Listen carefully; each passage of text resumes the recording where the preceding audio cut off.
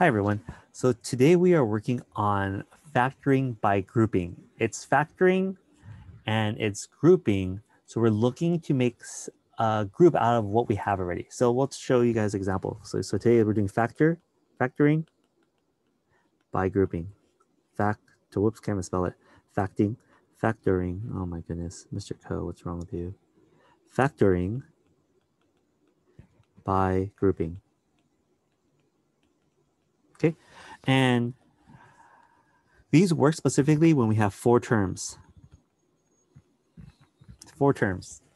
So let's look at the factoring that we've done before. If we say x squared plus 6x plus 8, okay? we said if it's a trinomial, we can try to factor into two binomials.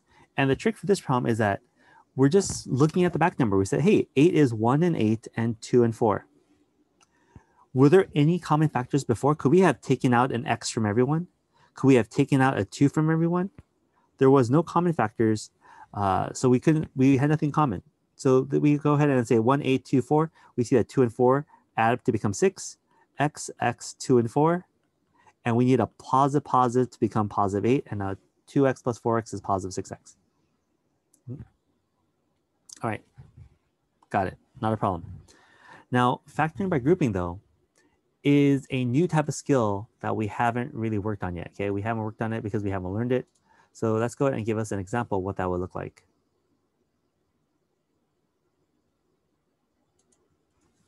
If I give you our first problem being x cubed plus 2x squared plus x plus, uh, let's do, oh, let's do one more, I'm sorry, 2x let's not, let's do 3x plus 6.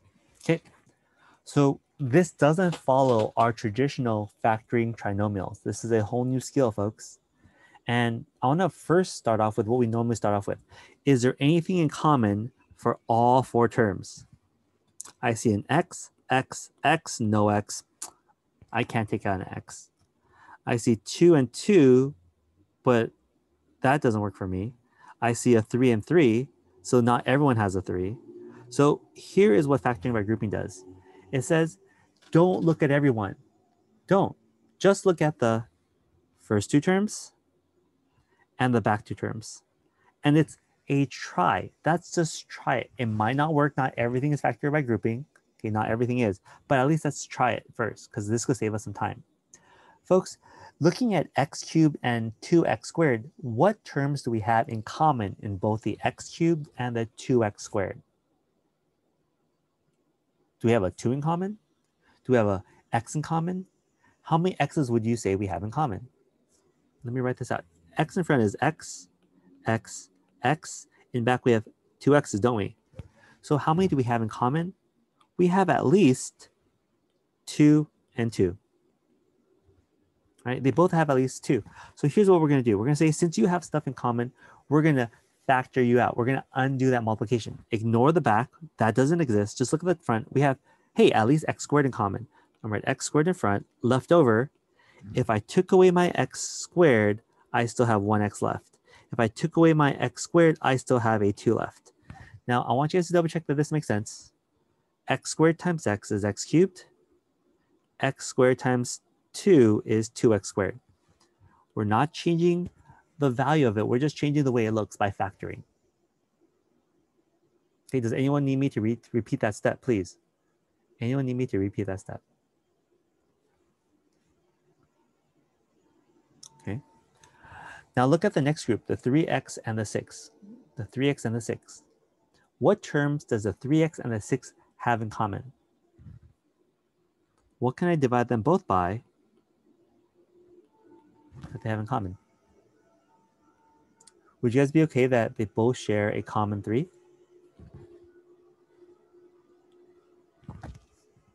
Give me a moment. Okay. So would you guys be okay and we have a common three? Let me go ahead and highlight that for you guys. So you have a common three and a common three. If I factor out the common three, what type of three is it? Plus three and minus three. I'm gonna call that a plus three for us. We have a leftover of x plus two. Now, we said when we were looking at this problem that we had nothing in common globally throughout the whole problem. We didn't have a common x, we didn't have a common three, we just had a common x squared in the front and a common 3 in the back, right? So we separate our groups. Now I want you guys to look at this new, um, new organized form of this problem now that we have. Do we have anything in common in the front and the back? What stands out to you? What do we have now in common in the front and the back? Hopefully you notice that we both now have an x plus 2. And we are going to factor that x plus 2 out. x plus 2. If I take out the x plus 2, what do we have left? We have a x squared plus 3. And that's how we factor using grouping a four-term polynomial, okay? So we have four terms here. We can't use our three-term method that we worked really hard on, which is super important still. But we have a four-term problem. How can we factor that? And this is the method is called factor by grouping. So just like a doctor or pharmacist, when you're sick, they give you a specific drug, a specific treatment to, to heal you, make you feel better. Same thing, we're like acting like doctors and pharmacists. We're seeing a problem and we're using specific tools to help us solve for it. It's an important skill for us. We see a problem, we don't just try anything. We, we think about from our past, what can we use to solve this problem? Okay, let's give you guys another problem as we try this. I think our best way to learn this is looking at examples. Here is 2x cubed minus x squared plus 20x minus 10. Now, do you see anything in common all the way across the board? Do they all have x's? Do they all have twos? They're almost, they almost all had twos, right? Look at the x squared. That one almost had a two. So it turns out there's nothing across the board that we have in common. So I want you guys to break it up, look at the front, and then look at the back. What could you tell me is in common between x, 2x cubed, and x squared? What do they have in common that we can factor out?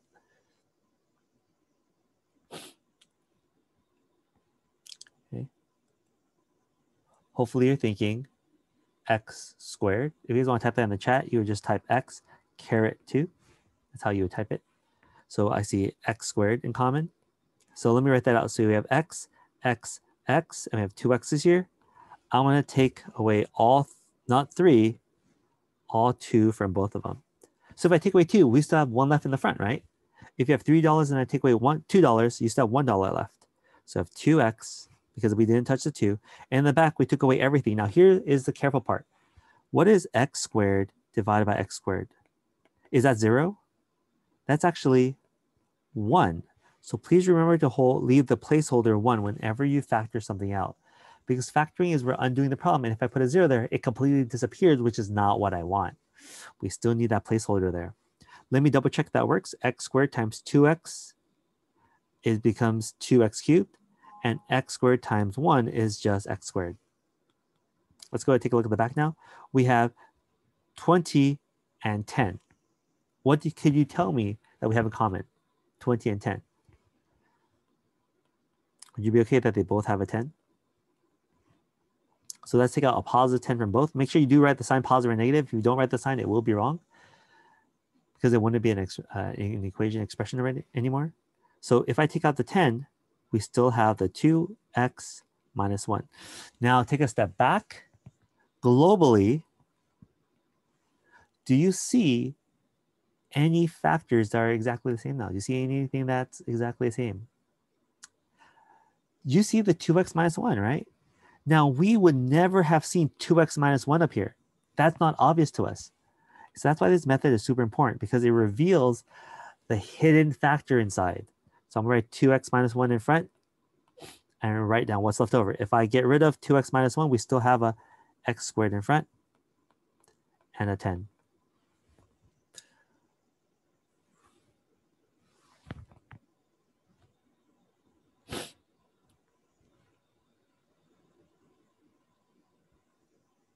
Okay, let's try another problem.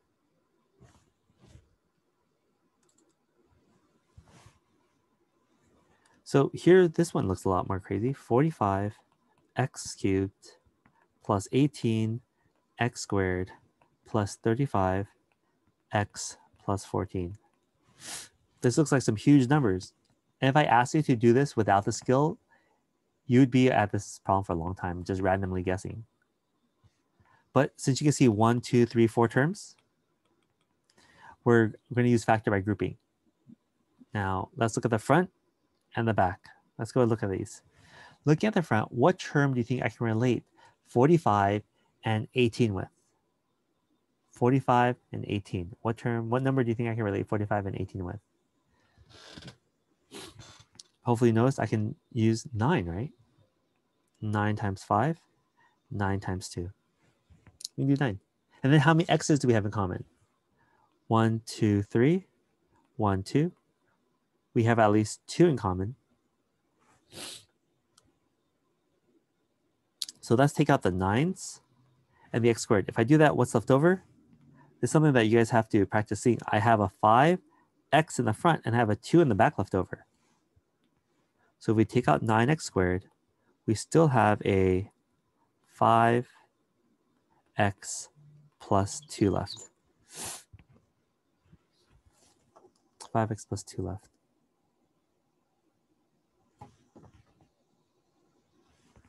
In the back, I see 35 and 14. 35 is 7 times 5 and 14 is 7 times 2. You can, of course, probably notice that they both have a 7. So that's the only term that we're going to take out. We're going to take out a positive 7. If I take out a positive 7, we're still left with a 5 and 2. So 5x plus 2. Oh my goodness. After I wrote it, I realized 5x plus 2. They both have a 5x plus 2. And that was our hidden factor that was slimmer in the front and the back. Let's go ahead and pull those out. 5x plus 2 What's left over? 9x squared plus 7. So again, this is a method for us to factor when we have four terms. It's important that we know this method because sometimes we end up with four terms. And it's different than us factoring trinomials, like what we have we've been working on for the last two weeks. It is different, but it is still a method because this is a whole different type of problem. When I say Mr. there's a lot of different types of problems, right? So are there a lot of different methods? Yeah, there are. 100% there are. So here's a problem that they mixed around. 18 g cubed minus 5 plus 9 g squared minus 10g. Now they mix this problem around and we could try grouping. If I ask you to look at the front group and the back group, is there anything in common in the front group and anything in common in the back group? Now the idea is sometimes when you try doing grouping, it doesn't doesn't fall into place easily. But that's just right. There's nothing in common in the front. 18 and 5 don't mix, and 9 and 10 don't mix, but they both have a G. So if I took a G here and I wrote um, 9G minus 10, here's my problem. Does that look like what we have here? No, it doesn't. So in problems like this, maybe we have to reorganize these numbers because these weren't in order anyways. 18g cubed plus 9g squared minus 10g minus 5. So I just rewrote everything in order from highest to lowest exponent. And let's take a look now. Do we have anything common in the front group and anything in common in the back group? Now this one will have a negative in the back group, so please be aware. So if I write it as 9 times 2, they both have a 9. Perfect, that's my greatest common factor. And they both have x squared. 9, uh, in this case, g squared. Left over what do we have left over? We have a 2 and a g left. 2g. And in the back, we took the 9g squared. Oh, wait, so it's just one. One left behind. Now, I want to make a mistake, so please follow along as I make this mistake. If I just took a 5 plus 5 from both of them, we would have a negative 2g minus 1. Folks, do these match? They don't, that means I need to go back and try to take out something else to make them match. Sometimes the signs don't match. If the signs don't match, you got to go back and take out a negative from them. So I'm going to go back, say that was wrong. In the front, we were good. But in the back, I'm going to take out a negative 5 this time. If I take out the negatives along with it, we end up with a positive and a positive. And because I took out that negative, you can notice now that we have 2g plus 1 now. 2g plus 1, we have left over 9g squared minus 5.